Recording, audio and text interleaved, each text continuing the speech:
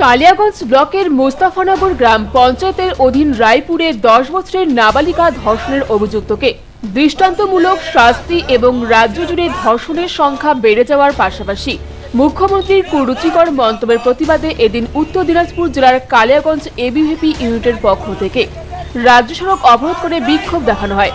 এদিন শহরের সুকান্ত মোড়ের রায়গঞ্জ বালুরঘাট রাজ্য সড়ক অবরোধ করে বিক্ষোভ দেখায়। পরে কালিয়াগঞ্জ থানার পুলিশ এসে অবরোধ তুলে দেয়। উপস্থিত ছিলেন এবিভিপি জেলার সম্পাদক সুরজ রায়। এবিভিপি জেলার সংযোজক যুবরাজ রায় সহ অন্যান্যরা। দেখছি, আপনারা যা দেখছেন, গোটা পশ্চিমবঙ্গ পশ্চিমবঙ্গের মানুষ জানে।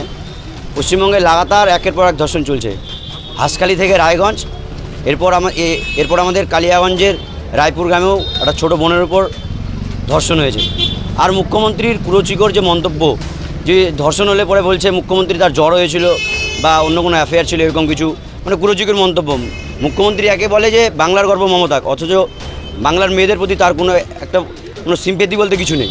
তাই তার প্রতিবাদেই বিদ্যার্থী পরিষদের এই আন্দোলন।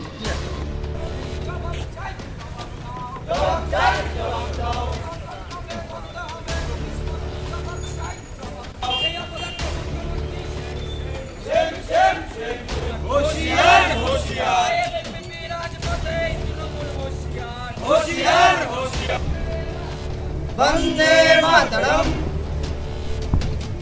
কে দিকে লড়ছে? লড়বে। লড়ছে লড়বে। দাঁড়িয়ে সুরক্ষার স্বার্থে এবিপিপি দিকে। জিরাবাদ জিরাবাদ। এবিপিপি এবিপিপি এবিপিপি জিরাবাদ। জয়!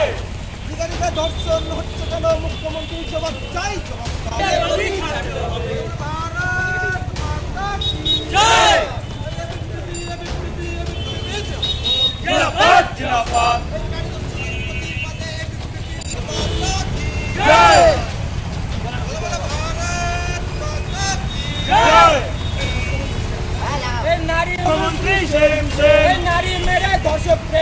মুখ্যমন্ত্রী সেম সেম নারী মেরে ধর্ষক প্রেম মুখ্যমন্ত্রী সরকার আর নাই দরকার এই গুন্ডা বাহিনীর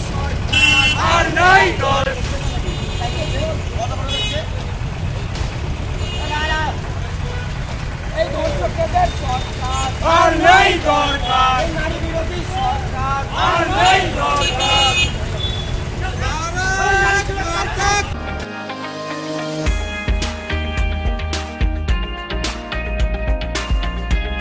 Kitchen Gallery, exclusive showroom for modular kitchen, aquarium, fish and pets.